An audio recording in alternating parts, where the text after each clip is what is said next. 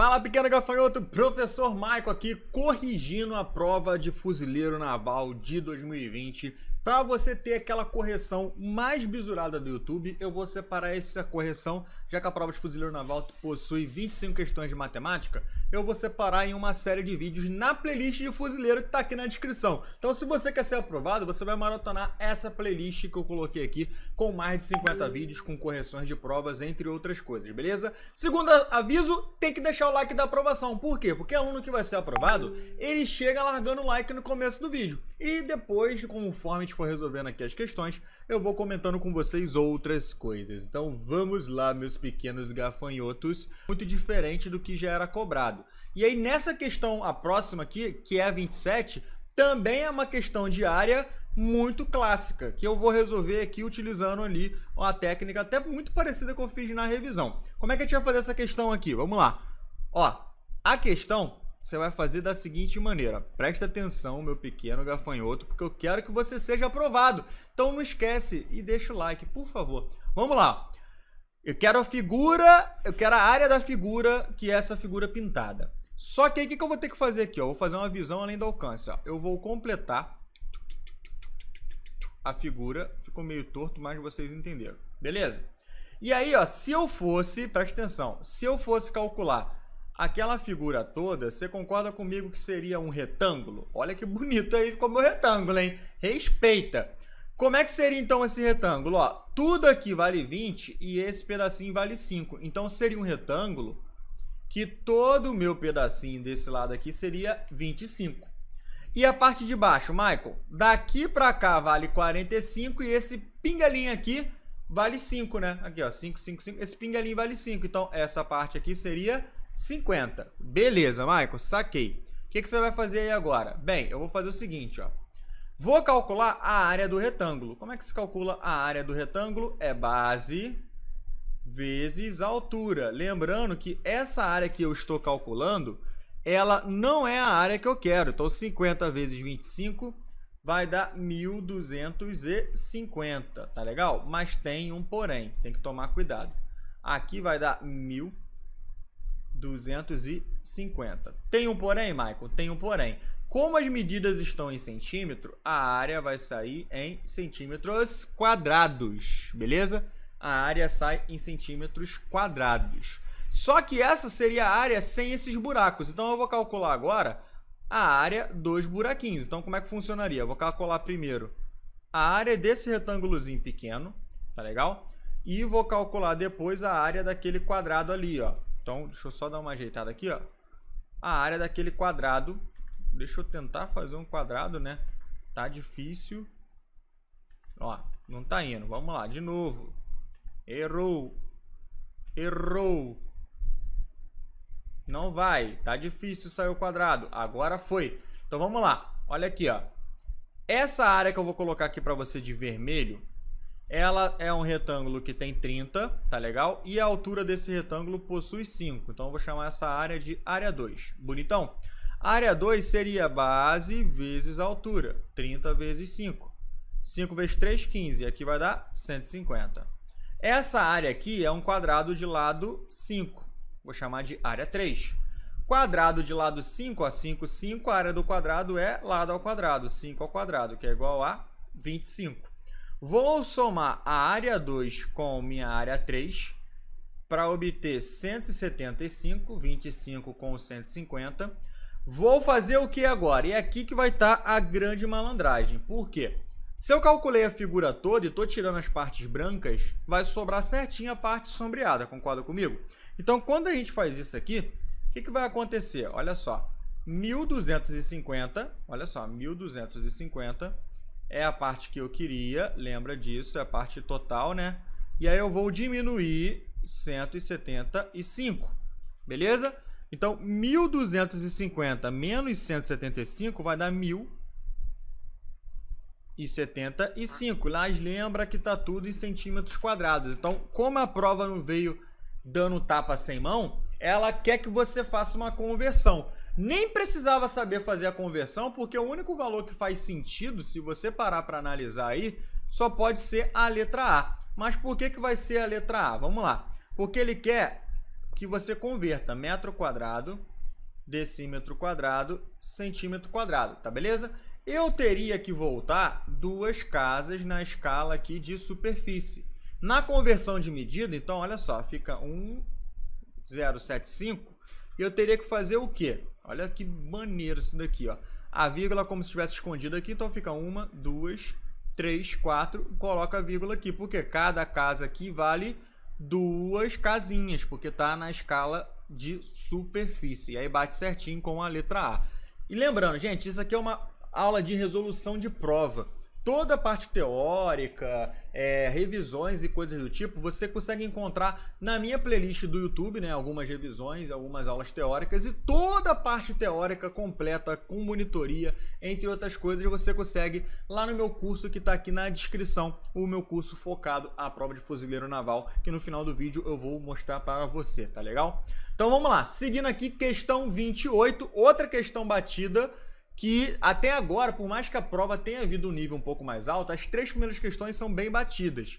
Então a, a terceira questão, né, no caso aqui, seria: seja a função, tem a função aqui f. Lembrando, gente, f de x, f de x a gente pode chamar de y quando a gente trabalha com função. Então eu poderia falar que y é igual a 2x menos 3 sobre 5x. Grava isso porque isso é fundamental para a gente poder matar essa questão aqui. Tá legal? Agora, o que, que eu vou fazer? Eu vou chorar? Não. A pergunta dele é, olha só, o elemento do domínio que tem menos 2 quintos como imagem, e aí quem estava na revisão pegou o bizu, que eu falei que quando ele fala imagem, você escreve assim para não esquecer. imagem está falando que é o valor do y, então ele está falando que o valor do y é menos 2 quintos. E a pergunta dele é qual é o valor do x. Opa, Michael, entendi. Caiu por terra a questão. Acabou, acabou, pequeno gafanhoto. Olha só. O que, que você vai fazer? Ó? Menos 2 quintos como imagem. Você vai fazer o seguinte. Ó. Você vai igualar ali o nosso glorioso, glorioso, glorioso y a menos 2 quintos. Então aqui vai ficar menos 2 quintos. Tudo isso igual a 2x menos 3 2x menos 3 sobre 5x. Como é uma igualdade de frações, agora você vai fazer o quê? Multiplicar cruzado, exatamente. 5x vezes 2 vai dar menos 10x, né? Porque o 2 está negativo. E ali, ó, 5 vezes 2x vai dar 10x. E 5 vezes menos 3 vai dar menos 15. Vamos organizar, ó, letra para um lado, número para o outro. Vamos lá, ó, 10x veio para cá, é, somando Vou fazer melhor, vou fazer o seguinte, ó. Eu vou passar o 15 para cá, que vai vir somando, e o outro 10x para cá. Então eu vou ficar com 15 é igual a 20x. Isso implica dizer o que então? Que 15 sobre 20 é igual a x. 20 multiplica, passa para o outro lado dividindo. O que, que eu posso fazer aqui então? Ó? E aqui né, eu posso simplificar por 5. Que aí vai ficar 15 por 5 vai dar 3 e 20 por 5 que vai dar 4. Então, x ele é igual a 3 quartos, que é a nossa gloriosa letra D de dado. Tá aí tranquilo, gente? Beleza? Tá fluindo, tá fluindo. Vamos para a próxima então, ó. Questão 29, e essa aqui ela é uma das questões polêmicas. Eu até concordo, porque essa questão é muito esquisita. Ela é uma questão de área, que ele pergunta qual é a área do triângulo. Ela até que não seria difícil, de fato, ela não é complicada, porque você tem uma fórmula de área de triângulo, ó, que é o seguinte, ó, se aqui eu chamar de alfa, aqui eu chamar de A e B, a área do triângulo não é só aquela formulazinha que a gente vê que é o seguinte, é base vezes altura sobre 2, ou a mesma fórmula de Heron. Tem uma fórmula de área de triângulo que é o quê? Lado vezes lado vezes seno do ângulo oposto entre eles, tudo isso sobre 2. Você tem essa fórmula aqui, de área de triângulo, que era para você fazer isso. Sendo que aqui o grande, a grande reclamação da galera que ele coloca aquele π ali sobre 4, e aí aqui o ângulo está em π radiano, o edital não deixou muito claro que podia cobrar ângulos assim, tá bem escrito lá que é em graus e tal, ficou um reboliço do caramba e acabou que passou batida, né? π sobre 4, como aqui tá π sobre 4, π nesse caso aqui vale 180 porque ele está admitindo que o pi está em radiano. Eles deram mole, tinham que ter colocado já 180 sobre 4, fazer ali, já, já jogava em graus, porque do jeito que tá, a questão podia até você ter botado um recurso em cima dela. 180 sobre 4 vai ser 45, tá bonito? Então vai ser igual aqui a 45. O que, que você vai ter que fazer então? Aí você vai calcular a área usando aquela fórmula ali, né? Área vai ser igual a 4 vezes 3 vezes o seno de 45, que aí está lá na trigonometria do triângulo retângulo, sobre 2. Cortou, cortou. Vai ficar 2 vezes 3, né? Porque eu simplifiquei o 4 ali. 6 seno de 45.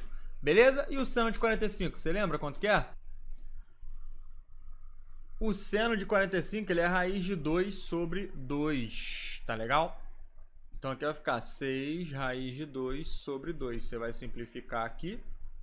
E aí você vai ficar com 3 raiz de 2, o que bateria com a letra C. Questão esquisita pelo que está no próprio edital. Então achei essa questão muito esquisita. E a questão, para a gente terminar essa primeira parte da correção aqui do vídeo, são as cinco primeiras questões, que é uma questão de espacial, de geometria espacial. Na casa de Manuel há uma caixa d'água vazia com volume de 2 metros cúbicos. Então já anota essa informação aí, que o volume ele é 2 metros cúbicos. Manuel vai encher a caixa trazendo a água de um rio próximo, em uma lata cuja base é um quadrado de lado 30 centímetros. Então, creio eu que ele queria que você fizesse aqui uma caixa, né, um prisma, que tem o seguinte, ó, a, o lado aqui embaixo é 30, né? É 30, tá, beleza? 30, 30, 30, 30. E a altura, ele é 40. Quantas vezes o Manuel precisará ir ao rio até encher completamente a caixa, tá legal? Sendo que ele vai ter uma caixa vazia com volume de 2 metros cúbicos e ele vai encher com isso aqui. Quantos desses ele vai precisar para encher aquele valor? Essa é a pergunta dele. Agora, vamos lá. Como é que você vai fazer para calcular essa brincadeira aí sem choro e sem ranger de dentes? Com muita calma e muita paciência. Vamos lá. Primeiramente, você tem que entender o seguinte. Como é que calcula o volume disso? O volume disso é a área da base vezes a altura, que é um volume de um prisma, tá beleza? Sendo que a base é um quadrado, qual é a área do quadrado? Lado ao quadrado. E a altura ele já deu para você que é 40. Sendo que 30 ao quadrado é 900 e aqui vezes 40. 900, ó, 4 vezes 3, vai vezes 9, nada, né, 36. Repete ali os zeros. 36 mil. Sendo que está em centímetros, né, aquela medida. Então, isso aqui vai dar em centímetros cúbicos, beleza? Esse volume que a gente acha é em centímetros cúbicos. O que, que acontece? Eu preciso converter isso para metros cúbicos. Então, vamos lá. Vamos lá, metros cúbicos, ó. Metro cúbico, decímetro cúbico, centímetro cúbico. Eu preciso voltar duas casas. Só que voltar duas casas aqui seria, já que aqui está na escala cúbica, né? Vou andando de 3 em 3. Então, preste atenção.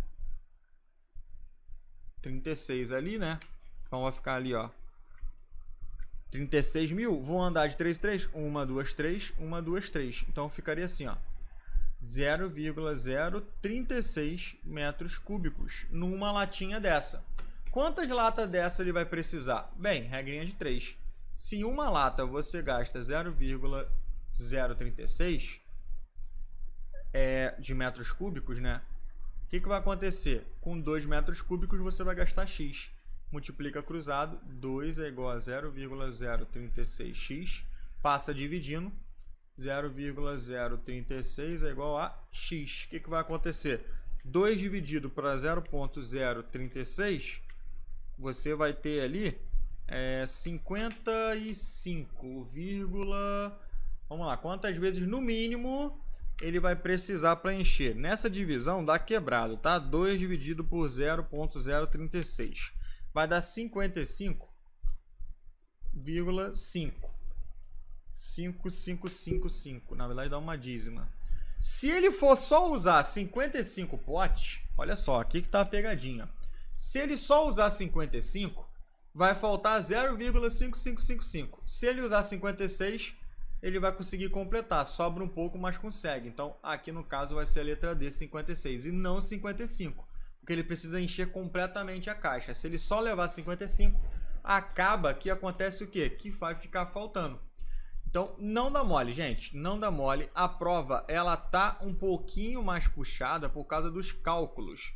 E eu queria te mostrar aqui, antes da gente finalizar o vídeo, o meu curso para fuzileiro naval, o link está aqui na descrição, é um curso de matemática completo para você. Eu vou pegar na sua mão do zero com monitoria, aulas ao vivo, é, material teórico, aulas exclusivas, revisão só com questões da prova de fuzileiro, que eu vou clicar no módulo de revisão para você, ó, só quebrando questão de fuzileiro para te dar o bizu o necta total para você conquistar a sua aprovação. Cola comigo porque eu tenho certeza que você vai ser aprovado estudando com muita dedicação com a galera do Praticando Matemática, beleza? Te espero na parte 2 da correção desse vídeo aqui, dessa prova do Fuzileiro Naval e tamo junto. Valeu e fui!